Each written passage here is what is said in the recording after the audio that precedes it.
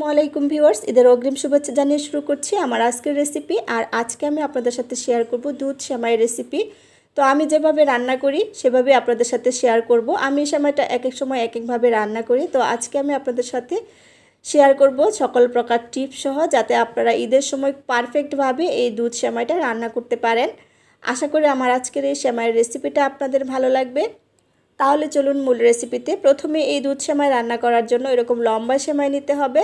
তো এই লম্বা সেমাইয়ের অর্ধ প্যাকেটের অর্ধেকটা আমি নিয়ে নিয়েছি, কারণ এই সেমাই অল্প সেমাই দিয়ে কিন্তু অনেকখানি সেমাই রান্না করা যায়। তো আমি এই সেমাইগুলো এখন ভেঙে নিচ্ছি, একটু গুঁড়ো গুঁড়ো করে নিব, কারণ এই দুধ সেমাইগুলো, সেমাই রান্না করার সময় এই সেমাইগুলো একটু গুঁড়ো গুঁড়ো করে নিলে খেতেও ভালো লাগে, দেখতেও ভালো লাগে। তো এভাবে গুঁড়ো গুঁড়ো করে নেবেন প্রথমেই। তো এখন আমি চলে যাব চুলাতে সেমাইটা রান্না করতে।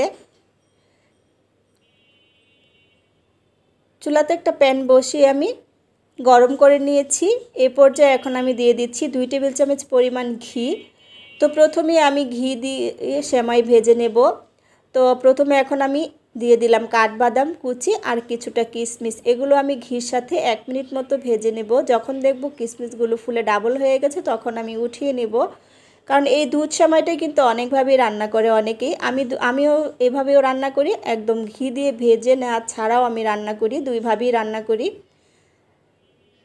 তো আমার দেখুন কিশমিশগুলো কিন্তু ভেজে নেওয়া হয়ে গেছে, ফুলে ডাবল হয়ে গেছে। এ পর্যায়ে আমি এগুলো উঠিয়ে নিচ্ছি। এগুলো উঠিয়ে নেওয়ার পরে এই ঘিয়ের সাথে আমি সেমাইটাও খুব সুন্দর করে ভেজে নেব। আর এই কাজটা করব লো হিটে। অবশ্যই কিন্তু লো হিটে ভেজে নেবেন, না হলে কিন্তু সেমাইগুলো পুড়ে যাবে। তো আমার আজকের এই সেমাই রেসিপিটা যদি আপনাদের ভালো লাগে, একটা লাইক দিয়ে দিবেন ফ্রেন্ডস ফ্যামিলির সাথে বেশি বেশি করে শেয়ার করে দিবেন।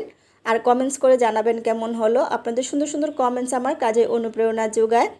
তো এই সময়টা সবাই মোটামুটি রান্না করতে পারে কম বেশি যারা পারে না নতুন রাঁধুনি, ঠিক তাদের জন্য আমার আজকের এই রেসিপিটা শেয়ার করা। আশা করি তাদের কিছুটা হলেও উপকারে আসবে।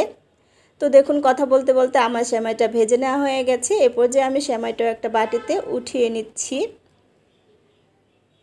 তো খেয়াল রাখবেন অবশ্যই যেন সেমাইটা ভাজার সময় পুড়ে না যায়। তো আমি সেমাইটা বাটিতে উঠিয়ে নিয়েছি আর এদিকে আমি চুলাতে দুধ বসিয়ে দিয়েছি। আর আজকের এই অর্ধেক প্যাকেট সেমাই রান্না করার জন্য এখানে আমি দুই লিটার দুধ নিয়েছি। তো দুধ সেমাই কিন্তু একদম শুকনো শুকনো হয়ে গেলে ভালো লাগে না খেতে। দুধ সেমাইটা একটু ভেজা ভেজা নরম নরম থাকলে কিন্তু খেতে ভালো লাগে। সেজন্য দুধের পরিমাণটা একটু বুঝে নেবেন। তো এখন আমি এখানে দিয়ে দিচ্ছি তিনটা এলাচ।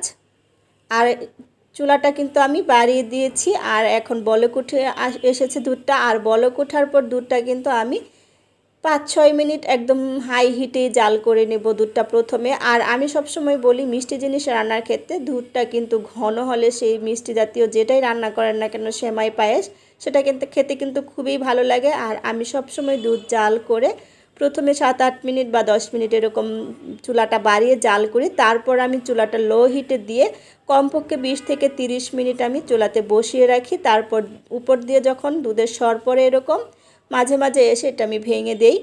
তো অবশ্যই কিন্তু আপনারা চেষ্টা করবেন বিশ থেকে তিরিশ মিনিট দুধটা লো হিটে এরকম বসিয়ে রাখতে। দেখবেন এতে করে দুধটা ঘনও হবে আর দুধের কালারটা সুন্দর হবে তা গোল্ডেন কালার চলে আসবে। আর সেই দুধ দিয়ে সেমাই রান্না করলে খেতে অনেক ভালো লাগে। তো বিশ মিনিট আমি বসিয়ে রেখেছিলাম আর মাঝখানে এসে এসে আমি এরকম শটটা ভেঙে দিয়েছি।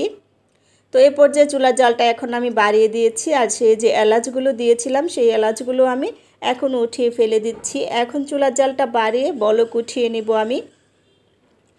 তো আপনারা এ পর্যায়ে দেখে বুঝতে পারছেন যে দুধটা কতটা ঘন হয়ে এসেছে। এভাবে দুধ ঘন করে, জাল করে সেমাই রান্না করলে কিন্তু খেতে অনেক ভালো লাগে। গুঁড়া দুধ দেওয়ার প্রয়োজন পড়ে না। গরুর দুধ দিয়ে কিন্তু খুবই মজা করে এভাবে সেমাই রান্না করে নেওয়া যায়। তো এ পর্যায়ে আমি সেমাইগুলো দিয়ে দিচ্ছি। সেমাইগুলো দিয়ে আমি খুব সুন্দর করে নেড়ে চেড়ে দিচ্ছি। আর এই সেমাইটা কিন্তু খুব অল্প সময়ে দ্রুত রান্না হয়ে যায়।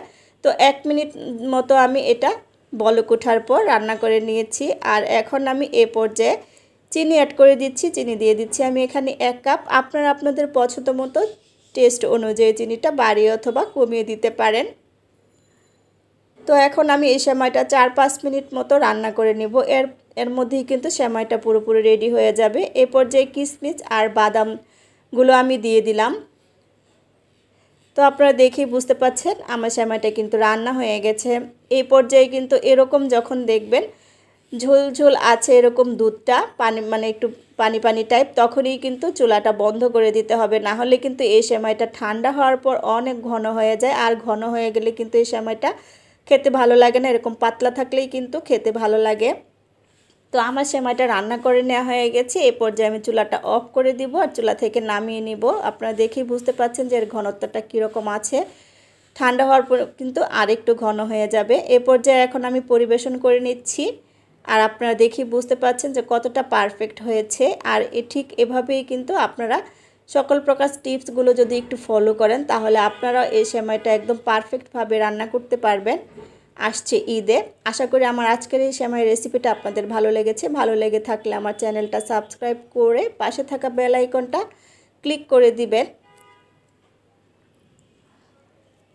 আর অলরেডি যারা আমার চ্যানেলটা সাবস্ক্রাইব করে আমার সাথে আছেন, আমাকে সাপোর্ট করেছেন, সবাইকে অসংখ্য ধন্যবাদ। তো আজকের মতো বিদায় নিচ্ছি। আবারও দেখা হবে নতুন কোনো রেসিপিতে সে পর্যন্ত সবাই ভালো থাকবেন, সুস্থ থাকবেন। আল্লাহ হাফেজ।